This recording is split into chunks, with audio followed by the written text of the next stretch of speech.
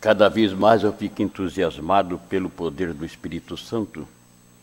As coisas que a gente não vê e eles vê, vendo, e ainda Deus tem sua misericórdia, que tem pena dessa pessoa, e eles não reconhecem. Como Jesus disse, tem olhos não consegue enxergar e ouvido não consegue ouvir. Hoje, quando terminei as minhas preces, as minhas orações, perguntei: é o Senhor Deus que vai passar? Não. É a Virgem Maria? Não. Fui perguntando. E é um grande santo. Só que no final eu fiquei. É, por que, que ele não quer que eu ponha santo? E vocês vão ver por que ele não quis botar. É uma coisa que eu não sabia. Que tem uma pessoa que dê comida, dê morada, dê a, a cama para dormir, e para ser tão contra mim, e por que ele não quis que botasse, botasse o nome, mas não santo. Porque se eu não sou para ele também lá, não, não é. Eu calculei assim. Eu não estou sabendo, fui saber agora.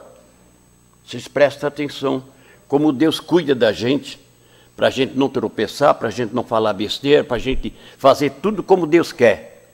Mas aquele que tem inveja e ciúme, aí ele, ele é contra. O tempo pouco resta. 25 de junho de 2016.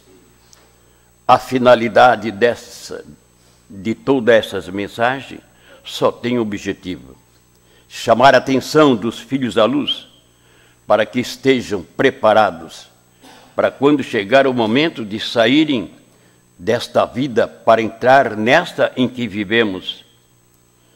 Todos irão dar glória a Deus por verem com seus olhos que a vida vale mais do que tudo neste mundo. Aonde vem o ladrão, rouba tudo que puder. Digo ladrão a esses que, em nome de Jesus, tiram tudo o que pode dos mais pobres. É uma vergonha para quem tem, mas quem não tem faz como o inimigo quer.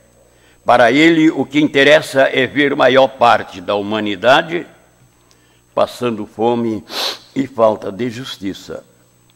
Olhe que o tempo pouco resta tudo já está se cumprindo.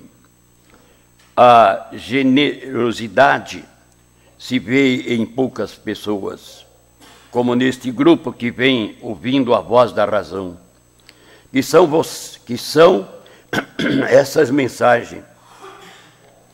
A verdade verdadeira só pode partir daqui. Só pode partir daqui para aquele que estiver me ouvindo e vendo como ele está pensando errado, que já foi predestinado por Deus, nosso Pai, o Criador. No mundo em que vocês estão vivendo, são os momentos mais difíceis para toda a humanidade. Sim, porque de um lado a força maligna vem tomando conta, do outro lado a injustiça só serve para os mais fracos e a palavra de Deus pouca coisa significa. Então, onde irão encontrar paz? Palavra esta que vem pesando para os corruptos que não querem saber mais. Cada um vem roubando até o que pertence à luz divina. E roubando que a luz de Deus está comigo. E vive dizendo que eu sou falso. Se Deus, nosso Pai, não abreviasse esse dia que vem se aproximando, pouca coisa sobraria para ele. Vejo que o simbolismo, como foi escrito, já não tem tanto valor, que é a vitória de Jesus sacramentado. Foi no momento quando ele abençoou o pão e vinho e deu aos seus apóstolos, dizendo: Fazei isto em minha memória. mas bem pouco se vê, fazendo como ele mandou. O restante vem perdendo a vergonha. Numa hora tão sagrada como aqui, ainda faz nesta igreja que vem fazendo como Jesus deixou. Eu também tive que enfrentar alguns desafios no momento da consagração do pão e do vinho, como o caso daquele que me desafiou, onde só o seu burro pôde ver a presença de Jesus sacramentado, por se ajoelhar diante do Santíssimo Sacramento. E é isto que vem acontecendo. A Santa Hóstia. São poucos lugares em que a humanidade vem dando valor ao corpo de Cristo. Antônio de Pádua, Papa Pedro II.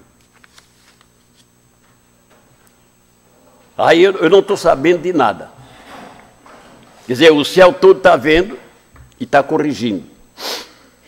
Mas mesmo aquele que ainda diz todos que baterão no peito, Senhor, Senhor, que serão salvos, não. Eu não estou sabendo de nada, né? Eu só vou ali, faço minhas preces, escrevo que vem as palavras. No fim, pensando que hoje, ou ontem, que era São João, Santo Antônio de Pádua, que sempre carreguei no meu bolso. Mas na hora de assinar, a assinatura disse Santo Antônio, filho de Maria, não. Digo Santo Antônio? Não. Antônio de Pádua. Aonde era esse? Nasceu, não foi em Portugal, o padre? Ele? Pois é. E lá dentro tem um contra a minha pessoa. Então, se para ele eu não sou santo, então Antônio não quis botar Santo Antônio. Não, Antônio de Pádua. Eu estou sabendo lá o que é que está acontecendo? Não estou sabendo. Mas uma pessoa que esteve aqui há muitos anos, eu recebi de braços abertos, comeu, dormiu aqui, e hoje é uma pessoa contra mim, dizendo: aquele que está lá é verdadeiro, eu sou o falso. Ô oh, Pires, por favor, Pires. Vocês sabem, que não deve julgar quem quer que seja. O mau serviço, sim, mas o bom serviço, todo aqueles que vem julgando será muito mais julgado. Porque Pires, você aqui foi sempre elogiado, viu, Pires? Lá de Portugal. Por isso que eu pedi para Jesus para voltar a Portugal, ele não permitiu. Eu não estou sabendo. Mandar uma carta dizendo que eu sou falso é uma pessoa assim, né? chama-se Judas, né? Se eu recebesse mal, sim, eu recebi bem. Dormiu aqui numa cama, comeu tudo com nós. E hoje combate contra a minha pessoa. A dona Razinha lá, o marido, pessoal de lá. A gente quer muito bem vocês, porque lá tive duas vezes e eu gostei mesmo de Portugal. Mas alguns errinhos que eu ia vendo, eu ia corrigindo, que é Deus que pede, não é, não é crítica, não é julgar. Meu filho corrige algum lugar que está errado. E o lugar desse, o altar do lado era a televisão. Eu só disse para mim, eu jamais faria uma coisa dessa. No meu altarzinho, botar a televisão. Mas são essas coisas, gente. Aí você vê como é o poder do Espírito Santo. Eu fiquei assim, mas hoje, ontem, São João, hoje, que, é, que podia ser ele, Antônio de Pádua. Eu digo, é, tá bom, porque eu sempre tive o Santo Antônio no meu bolso. E ele vem dizendo aqui, né? Que aquele lá, sim, que lá é filho de Deus. E eu sou um falso. Como, como é triste, né, gente? A gente ser bom nesse mundo, né? É, porque tem a mensagem que Jesus diz: Ah, meu filho, tem um que bate com a mão direita nas tuas costas, esquerda vive jogando pedra em ti. Isso é feio. Eu criticar uma pessoa que não sei se é escolhido por Deus, se não é como diz ele que ele é escolhido por Deus, eu não vou criticar de maneira alguma. Mas sendo ele acha que é escolhido por Deus e criticar outro sem ter nenhum, nenhum, defeito como você vê que no meu trabalho, nesse trabalho, eu faço todo o possível para não errar. Faço tudo possível. A gente faz tudo possível.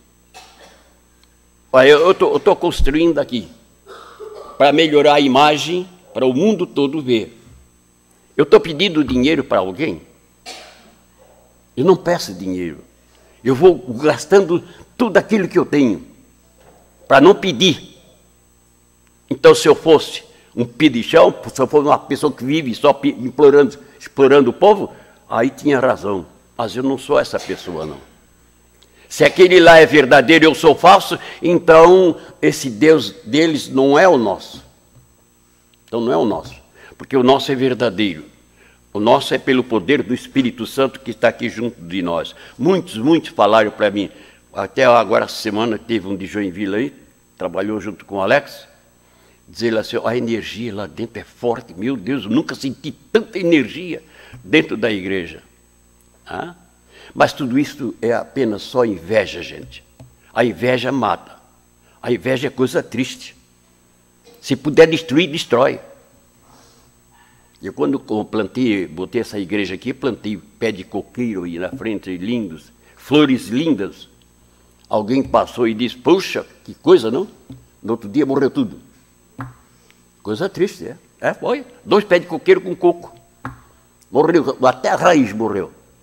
Então, tudo isso é inveja, ou ciúme, que a pessoa não pode ter nada. Ó, se Deus me escolheu, estou 44 anos dando prova do meu trabalho, vindo as mensagens. Então, esse, ô Pires, pede esse que está lá, escreva um livro como eu escrevi. Ele tem estudo, eu não tenho, Pires, viu? Mas está aí o livrão meu. Para provar o mundo inteiro que Deus está aqui presente com nós. É Ele que está fazendo tudo isso. Eu apenas sou um instrumento na mão dele. Nunca me orgulhei pelo trabalho. Nunca fui na televisão falar, dizer que eu sou o Papa. É do céu que veio essa palavra. Se você não admite, se arrependa antes que a hora chega. Em nome da Santíssima Trindade, vocês aqui dentro e lá fora, com a permissão de Deus, eu vos abençoe. Em nome do Pai, do Filho e do Espírito Santo. Amém. Vamos em paz, vamos com Jesus, Maria e José. Bom dia.